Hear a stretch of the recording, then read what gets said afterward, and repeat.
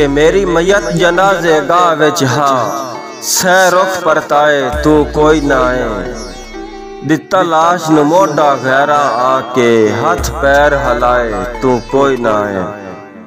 ਤੇ ਵਸ ਪੈ ਗਈ ਲਾਸ਼ ਰਕੀਬਾਂ ਦੇ, ਉਹਨਾਂ ਜ਼ੁਲਮ ਕਮਾਏ ਤੂੰ ਕੋਈ ਨਾ ਏ।